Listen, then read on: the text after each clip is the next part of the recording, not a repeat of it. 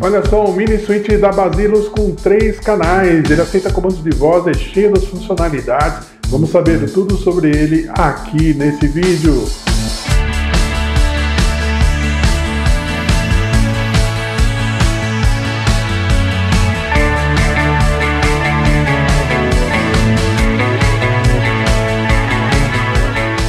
Olá, nesse vídeo então nós vamos conhecer mais um dispositivo da Basilos. Esse aqui é um interruptor de três canais, ele é Wi-Fi, vai trabalhar com Alexa ou Google Home, bem pequenininho aí para você poder embutir na caixinha e vai controlar, como ele é três canais, três circuitos de até 150 watts de lâmpadas LED cada um.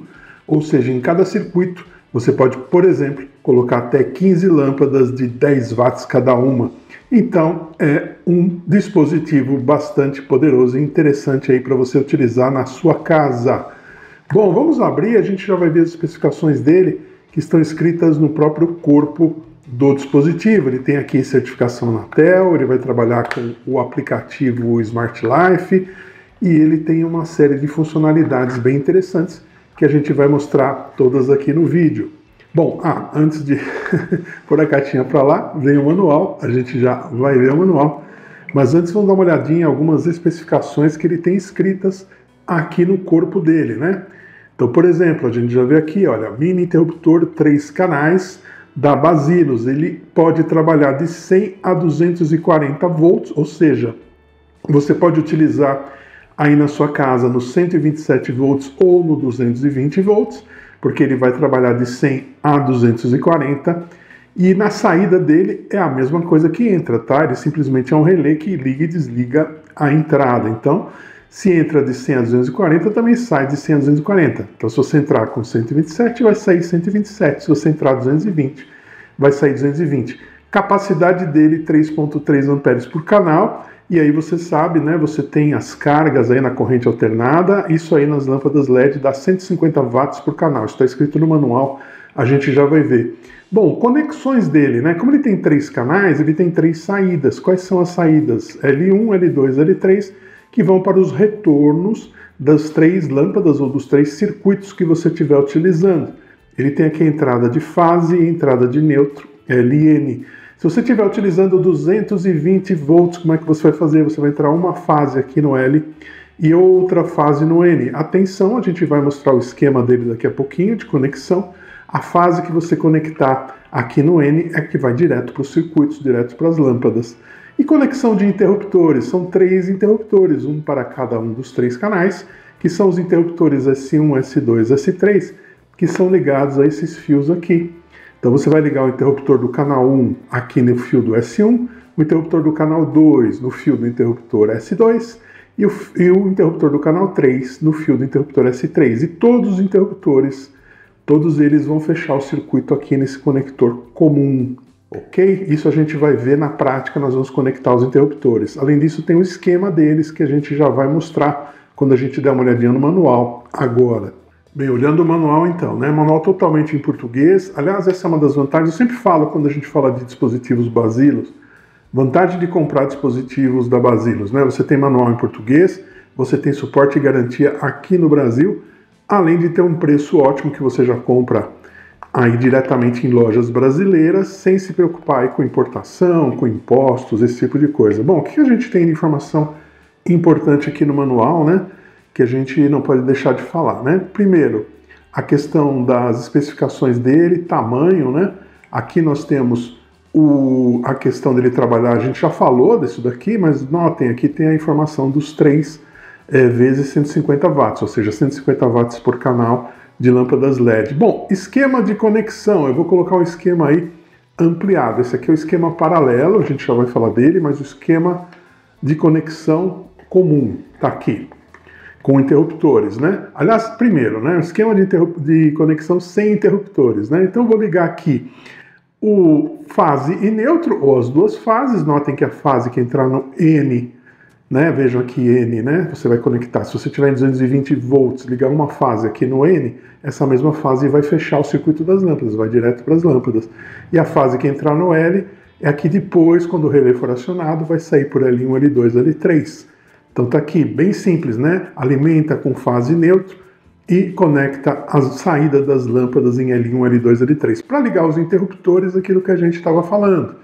Então você vai acrescentar esse esquema aqui, os interruptores, cada um deles ligado a um dos fiozinhos, que é o S1, S2, S3, interruptor do canal 1, canal 2, canal 3, e o comum desses interruptores vai para o COM, que é o comum, fecha no COM.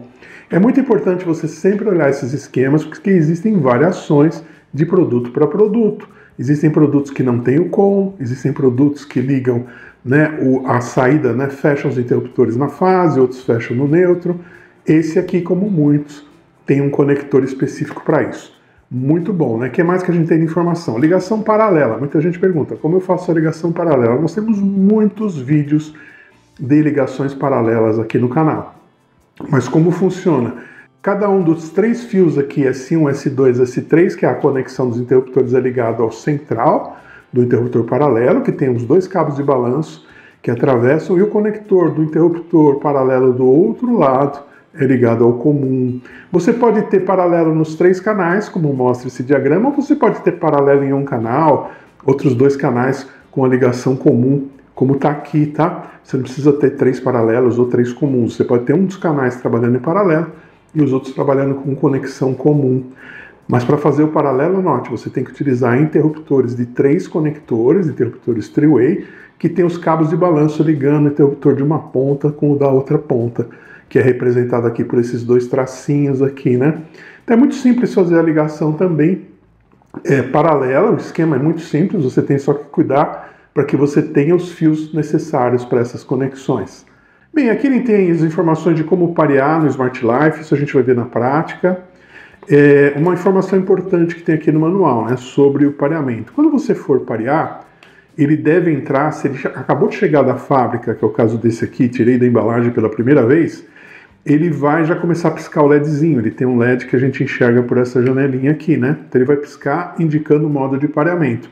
Se ele não estiver em modo de pareamento, eu posso apertar esse botão aqui e segurar por 10 segundos. Esse botãozinho, o que, que vai acontecer? Ele vai resetar e vai entrar em modo de pareamento. Então o reset é feito por esse botãozinho. Ah, mas se eu tiver com ele já instalado, tiver atrás de um é, de um interruptor e eu precisar reparear, por exemplo, precisar refazer o pareamento, como eu faço? Você não precisa desmontar, você pode ó, ligar e desligar o interruptor seguidamente por cinco vezes. Ele diz aqui que ele também vai entrar em modo de pareamento, então isso facilita. Se você precisar reparear, não precisa desmontar. Bom, o que mais que a gente tem aqui, né? Nós, ele vem aqui com esse conectorzinho, esse suporte, na verdade, né? Não conector, suporte para trilhos DIN ou parafusos. Então, se você for prender ele num local, por exemplo, dentro de uma caixinha de distribuição ou uma caixinha de luz próxima que tem aqueles trilhos, DIN, isso aqui se encaixa no trilho, ele vai se encaixar no trilho, aí ele pode prender lá, ou se você quiser colocar em algum lugar e fixá-lo, você pode pôr parafusos aqui nesse suporte e aí você encaixa o dispositivo, né? Quando a gente vai colocar ele dentro de uma caixinha é, de luz, eu não vou nem utilizar isso aqui, até para que ele fique mais fininho aqui, né? Bom, vamos fazer o seguinte, eu vou fazer o pareamento dele inicialmente com o aplicativo aqui para a gente ver o processo de pareamento. Vou fazer o pareamento sem ligar os interruptores a princípio, vamos deixar os interruptores aqui desligados. E na sequência aí a gente vai fazer a conexão de lâmpadas e de interruptores para ver o funcionamento dele. Então primeiro vamos fazer o pareamento. Para isso o que, que eu vou fazer? Eu já vou colocar ele dentro de uma caixinha, porque a gente vai trabalhar né, com todas as conexões já dentro de uma caixinha, com os interruptores e tudo. E aí a gente faz primeiro o pareamento, na sequência conexão de lâmpadas e interruptores. Vamos lá então. Bem, para fazer o pareamento, então, eu tenho que conectá-lo à energia. Eu tenho esse disjuntor aqui que simula a minha caixa de distribuição, de onde vem, no meu caso aqui, fase neutro. Então eu vou ter o fio azul aqui de neutro chegando na caixinha. E eu tenho o meu fio de fase chegando na caixinha. Se você for fazer uma instalação, já existe uma instalação na sua casa e é uma instalação com interruptores tradicionais, muitas vezes você não vai ter o neutro na caixinha, normalmente não tem. Então o que, que você precisa fazer? Pedir a um eletricista, alguém que conheça, para trazer o neutro do mesmo circuito de iluminação, preferencialmente, para a caixinha, tá? Então isso é feito por uma, um profissional aí é, que tenha conhecimento para fazer e puxar esse fio, né? Bom, o que, que nós vamos fazer? Nós vimos aqui que nós temos aqui nele a entrada do neutro, que é o N, e a entrada da fase, que é o L. A entrada da fase, que é o L, que é o terceiro conector aqui, ó, então a gente já vai ligar esse fio vermelho na entrada de fase. Então basta eu colocar ali o fio, ele está usando um conectorzinho para facilitar. Apertar bem aqui para não sair. Lembre-se de trabalhar sempre com a energia desligada, tá? Como eu falei, isso aqui representa a minha caixa de distribuição. Vejam que o disjuntor está desligado. Até melhorar aqui a posição desses fios. Para que a gente possa trabalhar com energia sempre desligada. Bom, e o conector de neutro? Vai aqui no N. Então, que é o penúltimo conector aqui. É importante a gente, como os conectores são juntinhos, você não errar essas conexões. Antes de ligar a energia, verifique né, se está tudo certo, se não houve nenhuma troca aqui né, de posição dos conectores. Então, confirmando aqui, né, nós temos aqui fase, que é o vermelho entrando no L, e neutro, que é o azul, entrando no N. Se fosse 220 volts, teria uma fase entrando aqui no L, outra fase entrando aqui no N, essa outra fase aqui vai direto para o circuito de lâmpadas. Quando a gente ligar as lâmpadas, nós vamos mostrar como é feito isso, tá? Bom, vamos lá, ele está pronto aqui para ser energizado e funcionar, né? Vou colocar ele um pouquinho de lado aqui e nós vamos já ligar o nosso aplicativo, que é o Smart Life, nosso velho conhecido. Bem, abrindo aqui o Smart Life, o que, que, eu vou fazer? Vou energizar e ver se ele entra em modo de pareamento. É importante que o seu... Olha, entrou em modo de pareamento, ele está piscando aqui. Não precisei nem resetar por aqui, né? Não precisei apertar o botão de reset. Ele já entrou em modo de pareamento. O que, que acontece? O Smart Life já detectou. Por quê? Porque eu estou com o Bluetooth do meu celular ligado. Então, por Bluetooth, ele facilita o pareamento. O Bluetooth é utilizado somente para facilitar o pareamento, assim como o GPS. Se o celular tiver com o GPS ligado, facilita também o pareamento, tá? O que, que eu faço aqui agora? Adicionar e eu vou escolher uma rede que seja uma rede 2.4 GHz. Esse dispositivo, assim como 99% dos dispositivos de automação, só funcionam em redes 2.4 GHz. Então tá aqui, é importante que a rede seja uma rede 2.4. Agora ele está fazendo aqui o processo de pareamento. Então lembrando, né, mantenha o Bluetooth do seu celular ligado, mantenha ele conectado a uma rede 2.4 GHz e o GPS ligado. Tudo isso facilita com que o aplicativo encontre o dispositivo em modo de pareamento. Bem, ele já terminou, concluído, está feito já, muito bom, muito rápido. Aqui nós já podemos observar a interface dele, ele tem três botões, a gente ouve aqui o relé dele funcionando, como não tem lâmpadas ligadas ainda, a gente não vê o funcionamento, e ele tem várias, várias funcionalidades que a gente pode observar aqui. Muito bem, então pareamento feito foi muito simples. O que, que eu vou fazer agora? Eu vou desligar a energia, vou conectar algumas lâmpadas aqui inicialmente, depois nós vamos por último conectar os interruptores, vamos passo a passo. Vamos lá, energia desligada, ele vai sair do ar, então o meu aplicativo daqui a pouquinho aponta que ele sai do ar, ele fica offline, porque eu desliguei a energia dele. E vamos aqui trabalhar agora na conexão das lâmpadas. Bem, como eu falei, cada circuito dele suporta até 150 watts de lâmpadas LED. Eu estou aqui com três lâmpadas, uma para representar cada um dos três circuitos. Você pode usar é, circuitos né, com até 150 watts. Aqui eu tenho lâmpadas fraquinhas. Como é que estão ligadas essas lâmpadas, né? Notem, todo conector de lâmpada, ou de circuito, ou de luminária, ele tem os dois fios, né? Um que chega o neutro direto, então o neutro chega por aqui. Como é que o neutro chega? Eu tenho um fio que vai ligado ao neutro que vem lá da minha caixa de distribuição. Então isso a gente vai fazer essa conexão, tá? E os outros três fios de cada um dos três soquetes aqui, ou de cada um dos três circuitos, são esses que estão com esses conectorzinhos amarelos.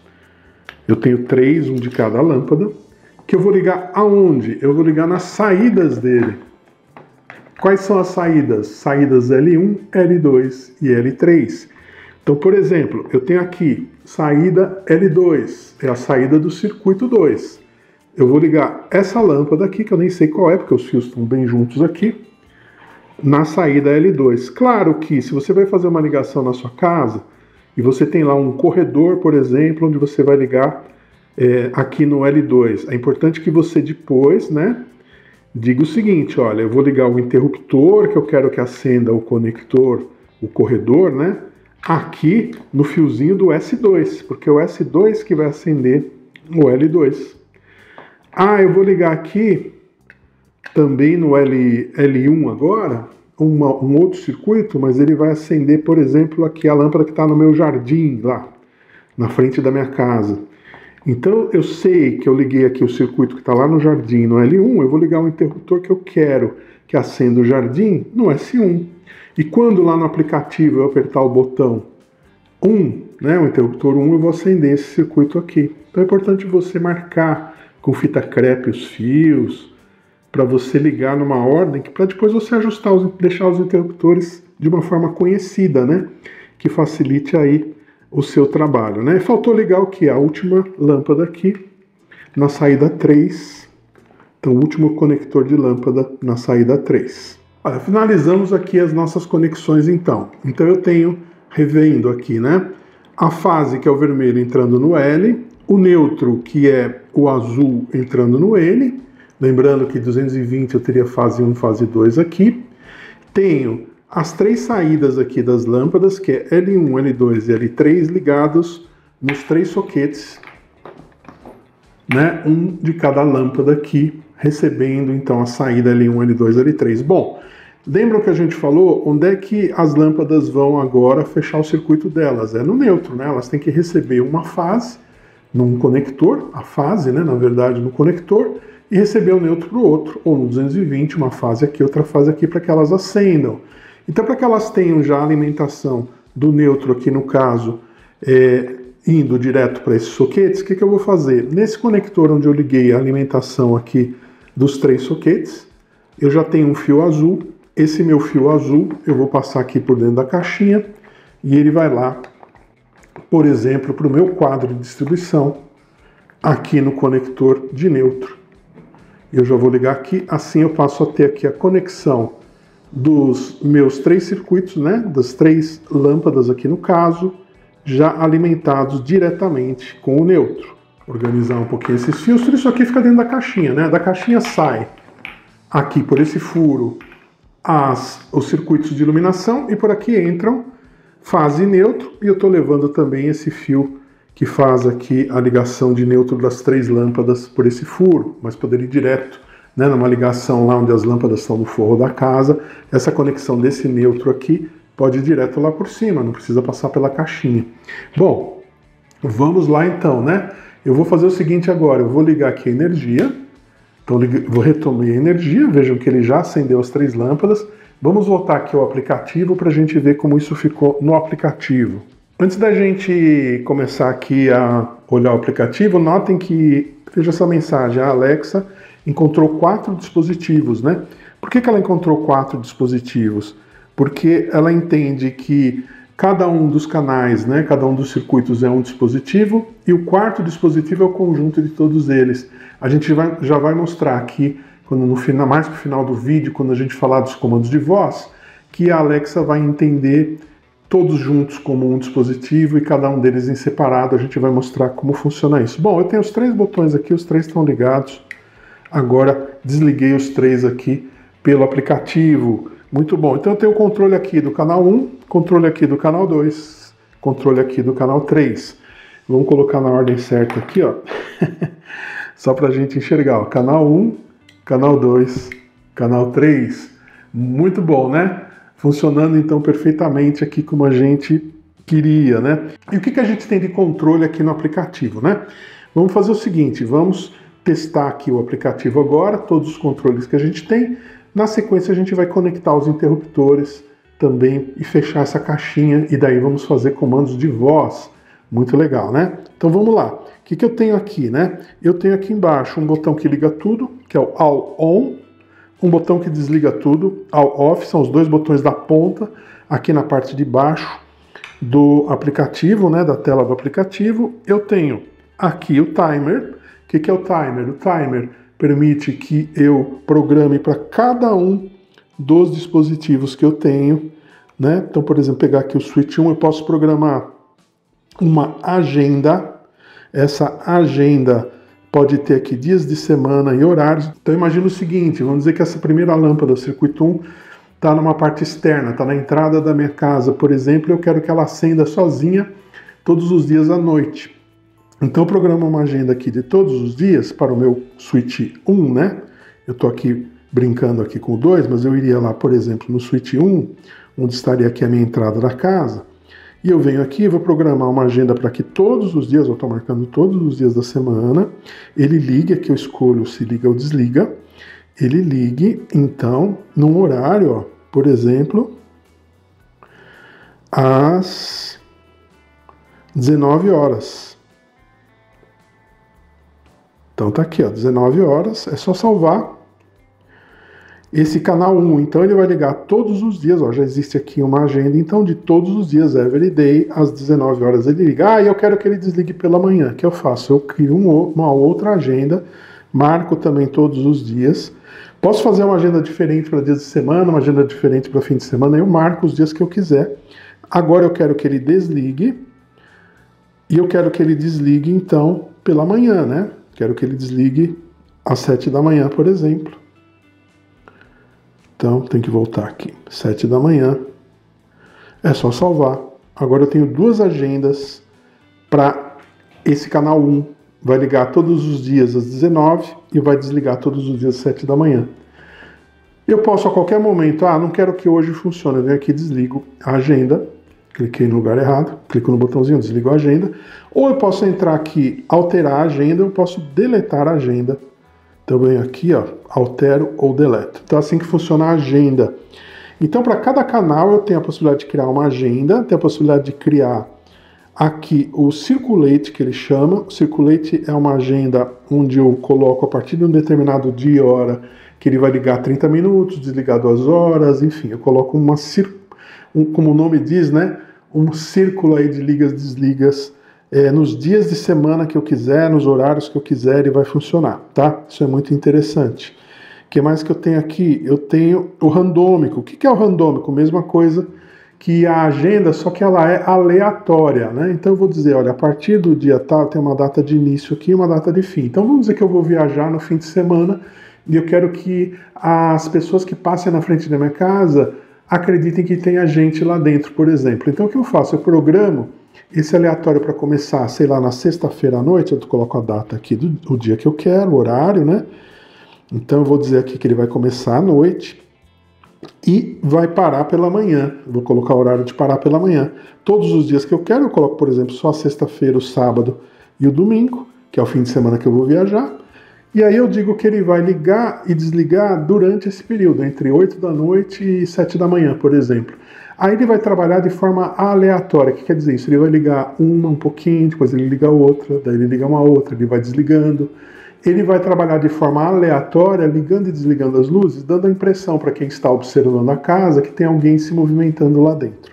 Então essa seria a ideia do randômico, né? A principal ideia do randômico é essa.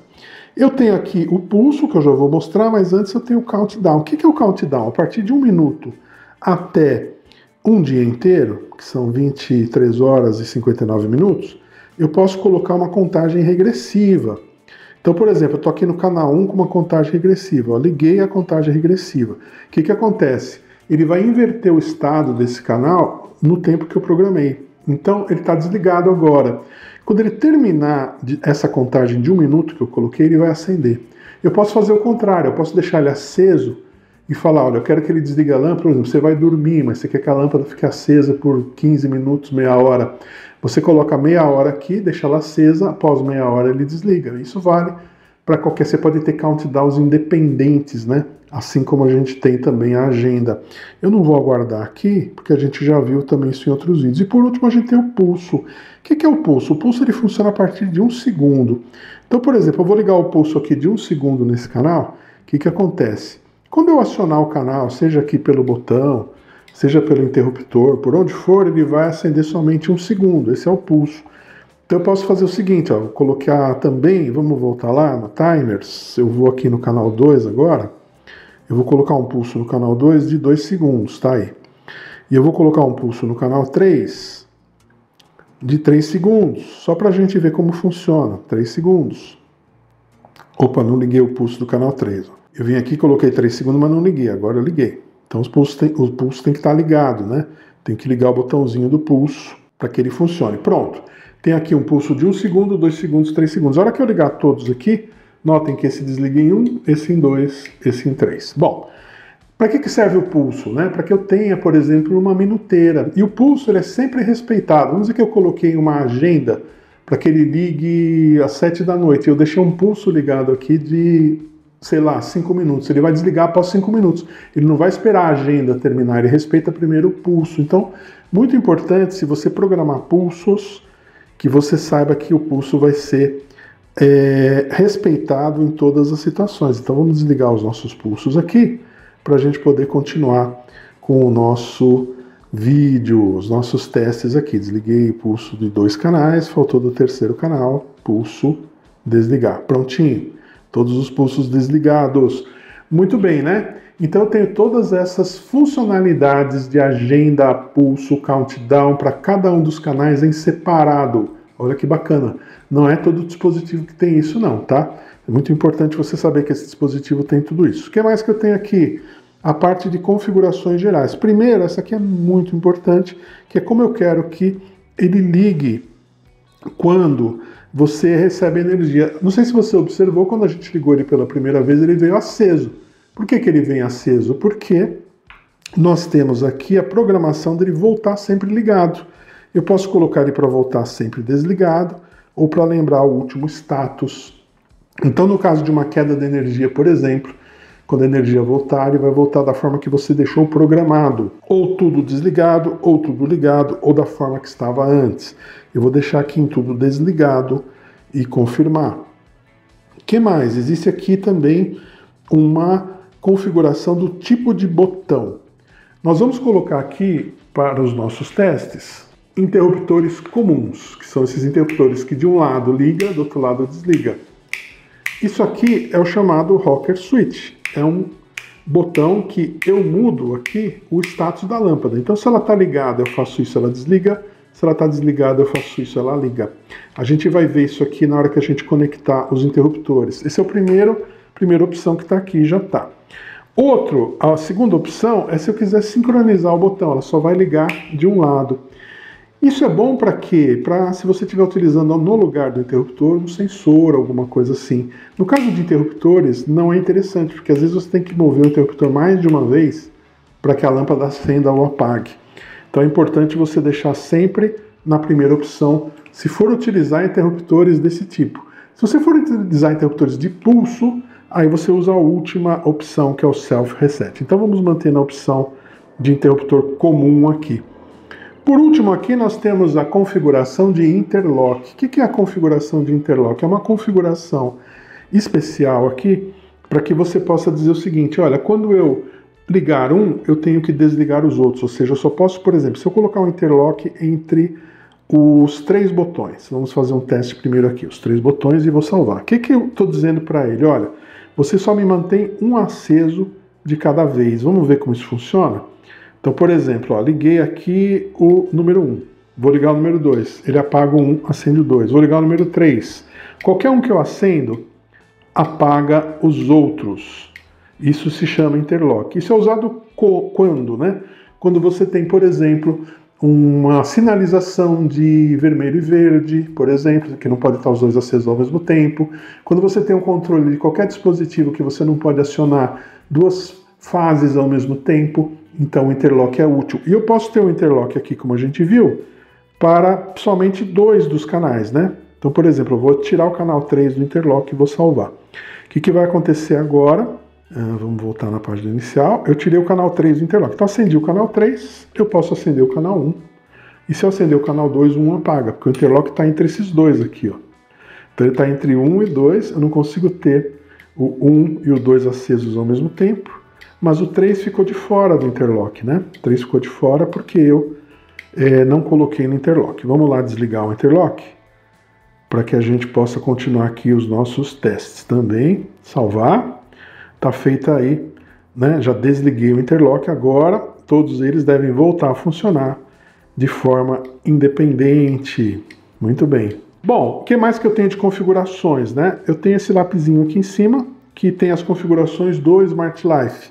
Então eu tenho aqui a informação que ele suporta Alexa, a gente já vai testar com Alexa e Google Home, informações do dispositivo, Posso criar cenas, então, com horários para ligar, posso criar cena onde um dispositivo é, inicia outro, é, ligar outro, posso criar cenas para várias funcionalidades, posso criar grupos para que eu acenda um, um, conjunto né, de interruptores ao mesmo tempo, colocando todos no mesmo grupo para que eu controle todos ao mesmo tempo. Aqui eu tenho o controle da rede, então eu verifico como é que está a minha rede. Aqui eu tenho a parte de compartilhamento, que é quando eu quero passar para outras pessoas para que elas possam acessar esse dispositivo, eu vou pedir que elas criem suas contas no Smart Life e aqui no compartilhamento eu indico as contas. E aqui por último ele tem notificações. Essas notificações são notificações de telefone ou SMS que eu preciso contratar serviço para esse tipo de notificação. Tem a parte de associação também, nós já vimos um vídeo, vou colocar o card dele aí, com associação com interruptores aqueles de parede da Basilos, o princípio é o mesmo aqui, e uma parte aqui de ajuda, e eu posso também remover o dispositivo aqui por esse botãozinho vermelho aqui, se eu quiser. Quando eu removo, o que acontece? Ele some do aplicativo e ele entra em modo, ele reseta e entra em modo de pareamento. É uma forma também de você colocar ele em pareamento sem precisar mexer no dispositivo fisicamente é remover do aplicativo e aí você repareia. O é, que mais que eu tenho aqui? Atualização do dispositivo, ele já está na última versão. Perfeito, então vimos todas as configurações. Agora nós vamos fazer o seguinte, nós vamos conectar aqui os interruptores a ele, né? Então vou desligar a energia. Energia desligada, está aqui o nosso interruptor que a gente vai ligar. Já são três interruptores aqui nesse conjuntinho. Cada um deles tem esse fio aqui que está com o conector vago na ponta, é o fio de cada um deles. Então, por exemplo, esse primeiro interruptor tem esse fio aqui. Esse segundo interruptor, esse fio aqui. E esse terceiro interruptor, esse fio aqui. No outro conector de cada um dos interruptores, está ligado esse fio. Vejam que ele entra no conector central aqui desse, né? Vai para o de cima e vai para o último aqui. Então os três estão ligados nesse fio e cada um deles tem um fio independente. Bom, ficou fácil, né? O que, que eu quero dizer com ficou fácil? Cada um dos interruptores, então vamos imaginar o seguinte, eu vou colocar aqui nessa posição, né? Que a posição correta é essa. Eu vou ligar esse primeiro aqui no canal 1. Então eu venho aqui nos meus fios aqui do S1, ó, o S1 é o primeiro, né, como a gente pode observar. Vou usar o conector aqui, já liguei o primeiro interruptor no canal 1. O canal 2 eu vou ligar no segundo interruptor, que é esse conector aqui, ó. Então vou pegar o canal 2, vou ligar no segundo interruptor. E o terceiro interruptor, vamos ligar ao canal 3. Então eles vão ficar na ordem, né? Pronto. E esse fio, o que, eu faço com ele? Bom, esse fio é o que fecha todos os três interruptores, né? Ele vai aqui no comum. Então vai aqui no com. Assim, todos os interruptores, eles vão ter, quando eu acionar, né? Ele vai ter um, um sinal elétrico que vai ser enviado por um desses três fios, né? O S1, S2, S3. E vai fechar esse sinal elétrico pelo com. Muito bem, está pronto aqui, né? Eu posso agora colocar o meu dispositivo dentro da caixinha. Tem esse monte de fio aqui, ele vai aqui dentro da caixinha. Cuidado na hora de colocar para que você não solte os fios que já estão conectados. É muito importante na hora que você for terminar a montagem, você ter certeza que a eletricidade está desligada, porque você pode causar um acidente aí, né? Você pode escapar um fio que não ficou bem preso, alguma coisa assim, e você vai poder causar um curto, então é importante você fazer isso com a energia desligada, de forma que você vai. Eu devia ter conectado de cima primeiro aqui, né? Parafuso de cima primeiro facilita a nossa vida, né? Aqui. Agora o parafuso de baixo. tá aqui nossa caixinha. Nós podemos, inclusive, essa chave de fenda aqui não é a ideal para isso mas a gente pode apertar a caixinha aqui já que ela está na mão, né? Poderia pegar uma chave maior para fazer isso. Mas está aqui nossa caixinha fechada, com o dispositivo lá dentro, três lâmpadas ligadas, três interruptores ligados, tá tudo aí bonitinho, né? Vamos testar? Vamos testar. Como é que eu faço para testar? Ligo energia. Canal 1, lâmpada 1, canal 2, circuito 2, canal 3, então um interruptor para cada um dos três circuitos. Note o seguinte, né? Se eu pegar aqui o aplicativo e acender, por exemplo, canal 1, ele sinaliza canal 1 aceso, canal 2 aceso, canal 3 aceso. Então eu posso tanto trabalhar pelos interruptores como pelos botões. E observe o seguinte também. Por exemplo, os interruptores nessa posição estão apagados, mas se eu vier aqui, ó, qualquer um deles, nessa posição ele fica aceso, ele vai apagar na outra posição. Ou seja, a posição do interruptor independe se o circuito está acionado ou não. Isso porque a gente configurou os interruptores como o rocker switch de inversão, ou seja, ele inverte o status, da, status né, do circuito, mudando de posição. Não tem uma posição certa para ligado, nem uma posição certa para desligado. Bom, vamos trabalhar agora também com comandos de voz. Se a gente olhar aqui no aplicativo, nós vamos ver que ele tem o nome de três canais Wi-Fi Switch Model. Esse nome não é um nome legal para a gente falar para Alexa. então vamos imaginar o seguinte, e nem o nome dos botões também. Vamos imaginar o seguinte, que esse primeiro canal aqui, que ele é o switch 1, eu cliquei em cima do nome switch 1, que ele está aqui ó, na entrada da minha casa. Eu vou chamar de entrada.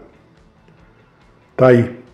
Vejam que ele vai mudar o nome aqui para entrada. Já mudou aqui no aplicativo, agora ele chama entrada, o primeiro botão. O switch 2, clicando aqui em cima do nome também, eu vou dizer que ele está num corredor. Quando eu cliquei no nome, eu acabei acendendo aqui, né? Então agora tem entrada e corredor. E aqui, o terceiro, vamos dizer que ele está num jardim. Por que, que eu estou dando esses nomes, né? Porque são nomes que eu não tenho aqui na minha casa, na Alexa, não tem esses nomes, então ela não vai confundir com outras coisas, tem que ser nomes únicos. E eu posso dar o nome também de todo o conjunto, eu vou lá em cima no lapisinho, vou aqui no nome, ó, e vou chamar ele todo de frente. Vamos dizer que é a frente da minha casa. Pronto. Então agora eu tenho aqui no aplicativo a frente, que são os três juntos. Eu tenho entrada, corredor e jardim. Vamos ver se funciona? Eu estou aqui com o Echo Show 8 aqui do meu lado e eu vou agora então dar os comandos de voz. Vamos lá. Alexa, acende a entrada. Tudo bem. E vejam que ao acender a A entrada, propósito, ainda estou aprendendo sobre o interruptor. Ele está conectado a uma luz? sim, Valeu. Agora você pode usar o interruptor como o resto das luzes.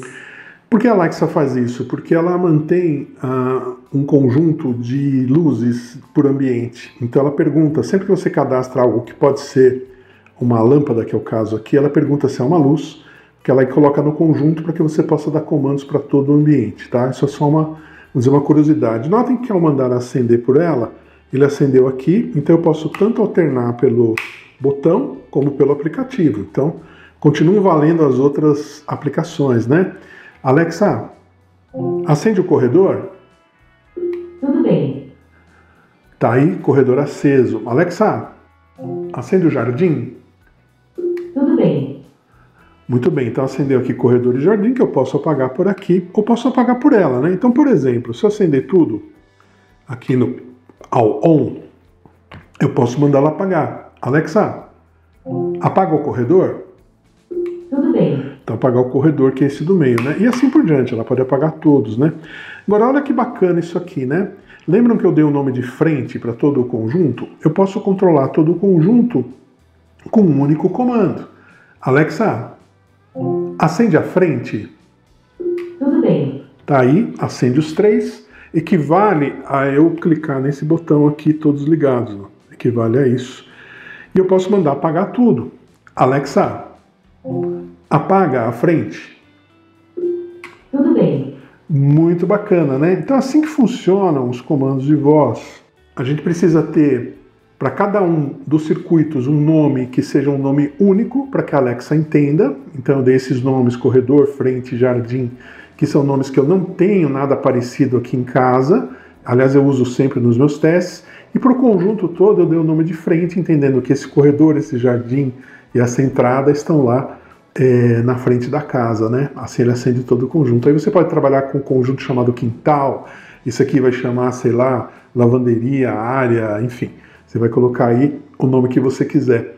Bom, esse foi então esse mini suíte da Basilos de três canais. Ele suporta então 150 watts de lâmpadas LED por canal. Ele tem aí funcionalidades completas de agenda, ele tem pulso, ele tem countdown, ele tem randômico, todas as agendas que você possa imaginar. Ele permite configurar interruptores de pulso, interruptores sincronizados ou interruptores comuns, que é o caso aqui. Permite também que você configure o estado de retorno dele após uma queda de energia, isso é muito importante. Tem muito dispositivo por aí que não tem essas configurações, então ele tem configurações completas, como a gente pode mostrar. Além disso, ele é bivolt, você vai poder ligar aí no seu 127 ou seu no 220 sem problema algum. Não esquece então de dar uma olhadinha aí na descrição do vídeo, você vai encontrar o link para a compra dele. Você vai ver que eu estou colocando aí loja oficial da Basilos lá na Amazon e outras opções também para você comprar. Não esquece também de deixar seu like nesse vídeo, deixe seus comentários, deixe aí suas dúvidas e muito importante, se você não for inscrito no nosso canal, inscreva-se, porque é isso que nos ajuda a trazer novidades como essa daqui todas as semanas. Muito obrigado e até um próximo vídeo.